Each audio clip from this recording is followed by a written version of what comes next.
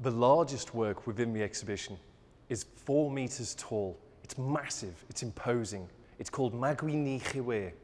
It is a work which was commissioned to celebrate the ascension to the ninth grade level of Chief Irini Bangtor. It is from the island of Ambrym. It would have been placed on the dance ground with a small ceremonial platform above it so then Bangtor could dance and celebrate in front of spectators who would publicly acknowledge his ascension to that grade level.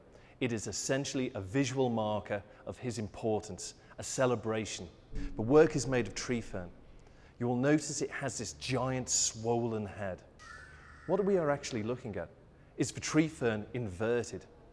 The tree fern was selected and then tied off. It was restricted, it was suffocated.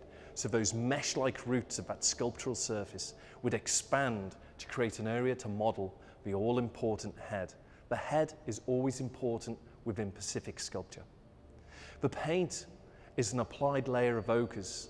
You can just still make out these wonderful spirals and sun-like radial spikes upon those big disc-like eyes. That slip of ochre has no fixative. It is meant to fall apart. All of these works are only meant to be used for one particular event, a performance, a ceremony, an initiation, an acknowledgement of grade level ascension. As the ochres fall away, it is considered the object has less energy. It's considered less important. These works are then left at the side of the dance ground or deposited in the bush to be reclaimed.